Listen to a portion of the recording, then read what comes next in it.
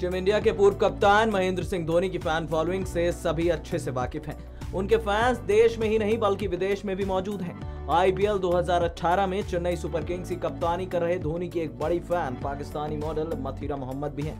दोनों से जुड़ा एक पुराना किस्सा अचानक एक बार फिर से सामने आया है। दरअसल मथुरा की कैप्टन कूल से मिलने की कहानी बेहद रोचक है। ये कहानी टीम इंडिया के पाकिस्तान दौरे के दौरान चर्चा में आई थी। मथीरा उसी होटल में रुकी थी, जहाँ टीम इंडिया और पाकिस्तानी खिलाड़ी रुके थे। मथीरा को अपने पसंदीदा पाकिस्तानी खिलाड़ियों से मिलने का मौका नहीं मिला था।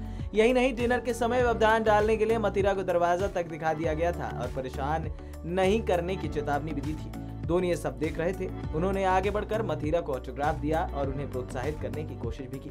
जहाँ धोनी आज इतने ऊँचे मुकाम पर पहुँच गए हैं, क्रिकेट फैंस में उनकी सादगी और इज़्ज़त अब भी ताज़ा है।